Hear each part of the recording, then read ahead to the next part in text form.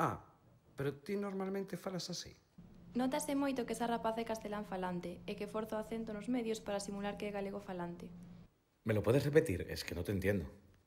Non, non, eu no traballo na facultade falo gallego normativo. Ti falas así a todo mundo por aí, queda fatal. Boa? O teu galego é moi pechado, eh? Pero por que forzas o acento? Es bruta como a un arado. Con lo mona que eres y lo pierdes todo al abrir la boca. Dice Guzmán, non Guzmán. Por Deus, que horror. É un defecto das de Vimianzo. Esta moza falando así non vai chegar a ningún lado. Ben, estou segura de que moitos de vos sabedes eh, que son todas estas frases. Sobre todo moitas, porque hai tamén tendencia a focalizalo un pouco nas mulleres. Pero bueno, antes de poñerme de cheo, vou me presentar. Eu son Alba Mancebo, E, e como veredes no meu Twitter, eu son de Vimianzo, da Costa da Morte, son xornalista e fago teatro. Agora mesmo eh, traballo na televisión de Galicia e dedícome sobre todo ao mundo de internet e das, e das redes sociais. Eu falo así, así como me estades escuitando. E, e tiven que escuitar durante toda a miña vida e aínda teño que escuitar porque hai algunha frase das que acabades de escuitar que non hai tanto que a, que a tuven coir, Eh, levo escuitando toda a miña vida eh, frases que falan da, da miña fala. Persoas, estas as orelliñas, tuveron que escuitar a moitas persoas dicir estas cousas, e se non foron estas, foron as orelliñas de, de algúns dos meus seres queridos que despois me trasladaron. Entón, o que eu quero trasladarvos é que, por suposto, ningunha das cousas que eu escuitei eh, me afectaran de ningunha maneira, de feito, pode que incluso fixeran o, o efecto contrario.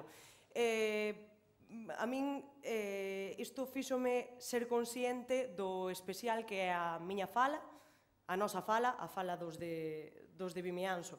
E podería agora mesmo estar falando dos do galego en xeral, pero falo desas persoas que temos uns trazos que algúns catalogan como moi marcados, esa típica frase que din que temos un, un jalejo moi marcado, un acento moi, moi pechado. Eu non os culpo, porque realmente en Vimianso eh, somos bastante especialiños. A ver, temos Eseo, temos geada, temos iso que algúns lle chaman queada, dicimos moito, uito, noite, dicimos tar en vez de tar, de estar, dicimos... que máis dicimos? Temos cheísmo, Bueno, hai moitos máis eh, dialectalismos que vos podería estar aquí contando infinito. Que pasa? que a min xuntar todo isto pareceme maravilloso. A min pareceme que, que é unha lingua, unha lingua riquísima a que, a que temos uns trazos maravillosos. Pero hai xente que queda mirando ou que me escuita dixer isto e fai, uf, demasiado, onde vai esta rapaza falando así, sabes? O que teño que dicir é que a min todo isto veume ensinado. Non só, bueno, a pesar da, da situación de dislosia brutal que se vive, a min todo isto veume ensinado. E non falo só do amor pola lingua. E, e agora vou volver ao Twitter, xa o mencionei antes e volvo a el. Sabedes eses chistes que tamén son en serio, que se, fa, que se fan agora no Gali Twitter de la imposición del gallego. Pois na miña casa a imposición del gallego foi imposición del gallego de Vimianzo. Eu cando estaba cando estaba no salón e de repente dicía jato, viña a miña nai asunta tamén e facíame, como que jato? Como que jato? Ti que és de Camariñas? Será ja, ja, jato. Porque nós temos unha geada aspirada. Entonces, eh, eu tuve en imposición del gallego de Vimianzo.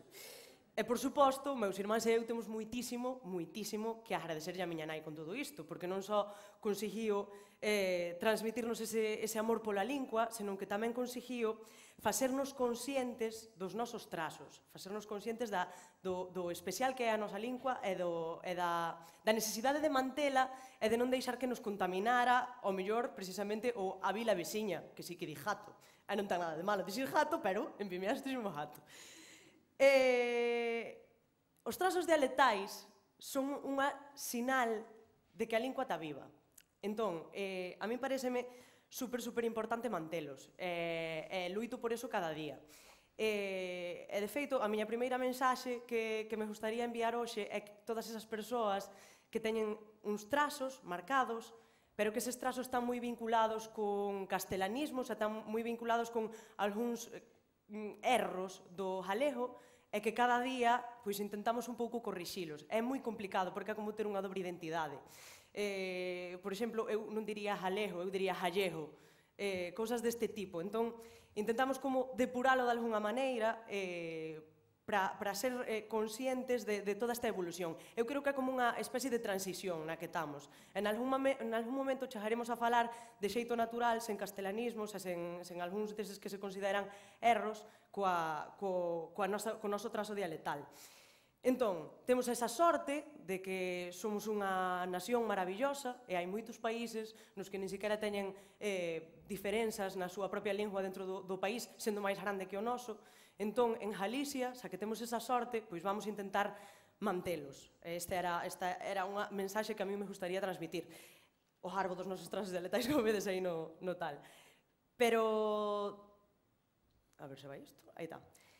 E vos diredes, pero esta rapaza non viña a falar da importancia de contar historias en Jalejo na rede. Sí, veño, veño a eso, pero tamén é certo que eu creo que hai algo tamén moi importante, que é a importancia de falar do Jalejo na rede eh, debemos falar do galego, da súa situación. Debemos facer visibles os nosos trazos dialectais, o noso riquísimo vocabulario que en cada zona é dunha maneira diferente. Eh, debemos falar do futuro da lingua. Falalo aquí, neste acto maravilloso no que estamos hoxe, pero falalo tamén na rede. Por qué? Porque creo que é importante darlle visibilidade a, a todo isto, a toda, a toda a nosa lingua, a todo o que a rodea, a todos os problemas, eh, a todas as virtudes que ten o, o galego. E, ademais, é importante desde o meu punto de vista porque creamos consciencia. Eh, creamos consciencia entre os que non a falan e os que a falan. Entre os que non a falan porque así son conscientes de cal é a situación da lingua que os rodea aínda que, eh, aínda que eles non o falen, e incluso porque tamén os podemos chegar a animar a falala. Pero consciencia tamén nos jalefalantes que ás veces non se paran en pensar que é o que está pasando coa nosa lingua porque hai moita xente que vive nunha burbuxa maravillosa, porque, eh, porque hai sitios, aínda que nos pareza un pouco idílico, no que hai xente que non é consciente de, de, da situación de, de perigo que vive a nosa lingua. entonces é importante para que eles eh, sepan a situación real eh, da lingua, e, e para que se sintan tamén respaldados no momento no que, no que se vexan respaldados e tamén para, para que vexan o valor eh, inmenso que ten que ten a nosa, a nosa lingua. O ano pasado, Eire Losada introduciu un, un termo que a mí me parece moi interesante, que dixo que ela era un motor da lingua, que yo dixo súa nai. Pareceme super bonito, ese termo é os que teñades a oportunidade e de vela a súa intervención do ano pasado neste, neste acto. E eu creo que as persoas que intentamos manter os nosos trazos e intentamos demostrar que a lingua aínda está aínda está viva 100%, que somos motores da lingua. E falar do galego na rede tamén eh, nos converte en motores da lingua. Eh, este cariño, esta importancia que eu lle dou a, a todo este tema, estes trazos dialetais, foi o que me, o que me fixo crear a min unha pequena sección no Instagram da Televisión de Galicia que se chama Instagal, Para os que non a coñezades é unha, bueno, un, un, como unha especie de xogo no que eu propoño unha palabra semanal e a xente me manda as respostas dicíndome como se di na súa zona. Entón, despois, eu eh, vou man de Paulino Novo Folgueira, o lingüista, que é a persoa que fai a análise, porque eu non teño os coñecementos, e non me gustaría tampouco facelos entelos, e despois eu fago un vídeo explicativo. En ese vídeo explicativo, houve moita xente que me mandou mensaxes dando máis gracias por visibilizar eses termos que eles utilizan e que a Real Academia Galega non, non recolle, ou visibilizalos eh, con seseo congeada con geada ou visibilizalos con, con, bueno, con calquera dos trazos dialetais que temos que son moitísimos. Eh, isto eu creo que a, que a xente eu creo que isto fai que a xente cabile sobre a súa fala que pense sobre ela e, e que lle dá, dalle valor, que, lle, que conseguen darlle ese valor eh, e, e créase como unha especie de curiosidade. Pareceme moi importante todo isto. Pero, e aquí xa empeza tamén... Eh. Falar do galego non é o único que se pode facer en galego na rede. E iso tamén hai que deixalo moi claro. Porque pecamos moito, pecamos moito e hai aí un conflito que, que eu creo que, que hai un vínculo desde hai séculos eu vou intentar ser clara e creo que o ides entender. O galego vale para todo. O galego é igual de válida que o resto das linguas, o galego é unha lingua universal, e dela podese falar de temas globais e de temas universais. O galego non vale só para falar de folclore, para falar do propio galego, para falar de, bueno, puñer palabras bonitas o día das letras galegas. Non sirve só para iso. Eh, non serve só para falar de Rosalía de Castro, tamén podemos falar de Rosalía Tratrá. Non serve só para falar dos nosos grupos folk maravillosos que temos na terra e que son jalejos. Tamén serve para falar de Agonei de Operación Triunfo se nos dá a gana. Que é algo que a xente pois, a veces inda queda ese na rede, eh? No, no, por sorte nas situacións diarias non tanto, pero na rede segue quedando eso por aí detrás. En Jalejo podemos ser eh, puro postureo en Instagram. Eso, eso é así. E podemos tamén facer as beiras, como dixía Xinchán, en Jalejo. Entón, eu creo que romper con isto é totalmente fundamental para a normalización da lingua nunha contorna cada vez máis global que hai xente que di que a globalización o que está facendo é diluindo todas as identidades, pero tamén é certo que a globalización e todo este mundo maravilloso de internet eh, danos a posibilidade de crear comunidades, comunidades nas que podemos fortalecer eh, diferentes aspectos, que pode ser o aspecto da lingua. Tamén é certo que temos aí unha pequena luita, poderíamos dicir, creo que tamén Marcus eh, Fernández, no, cando veu a este acto, tamén falou disto, que é que o vocabulario tecnolóxico debería eh, respaldarnos, debería apoiarnos e debería animarnos a utilizar a nosa lingua no, no, no ámbito tecnolóxico, tal como, como digo. Pero isto é como unha, un peixe que, que se trinca o, o rabo todo, todo o tempo.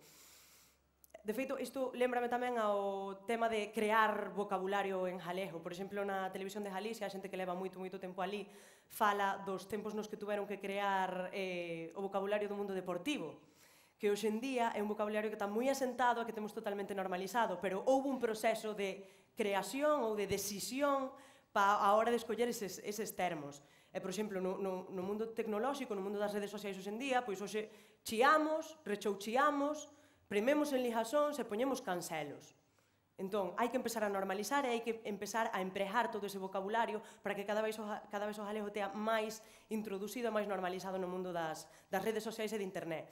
Eu lembrome que, por exemplo, cando eh, empezamos a utilizar o Instagram da Televisión de Galicia, eh, surdiu unha dúbida, claro, normal. Nos, eh, a través das stories do Instagram, os galegos non facemos swipe up, nin deslizamos, moito menos deslizamos. Eu fui xunto aos lingüistas e dixen, a ver, que, que, que termo podemos utilizar aquí?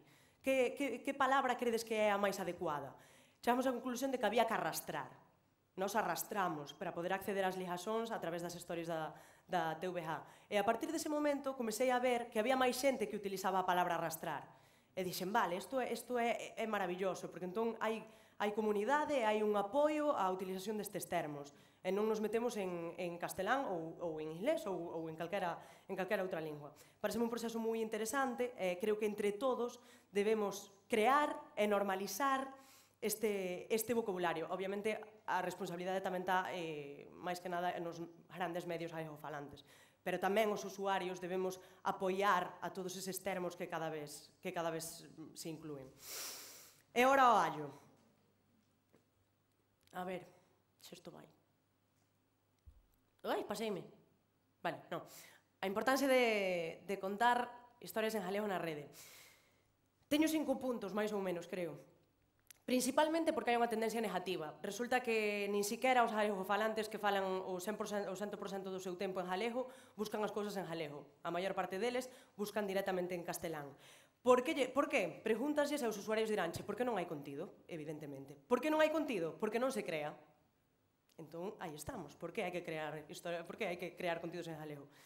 Non se crea. Eh, e por que non se crea? Porque non somos conscientes de que ese contido pode ser en galego moitas veces. Eh, sin querer non, non, non o pensamos. É unha lingua universal. Entón, para que esta roda vire, debemos crear ese contido en galego. Que máis? Porque canto máis contido en galego creemos, mellor posicionamento imos ter na rede. Ao final, eh, todos sabedes que hai empresas detrás, eh, tecnolóxicas detrás de todo este mundo de internet e canto máis contido creemos, mellor posicionamento teremos en internet e as empresas empezarán a ternos un pouco en conta, polo menos e deixarán un pouco de, de, de, pois de ningunearnos, que desde moitos puntos de vista podemos pensalo así. Esa idea de que se non sai en internet non existe, por favor, eh, non deixemos que a xente pense eso.